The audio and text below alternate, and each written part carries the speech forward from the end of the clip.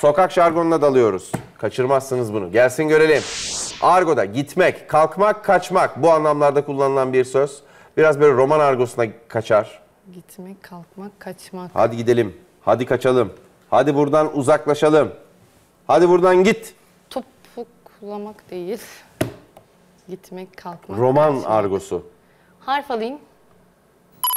Roman argosu.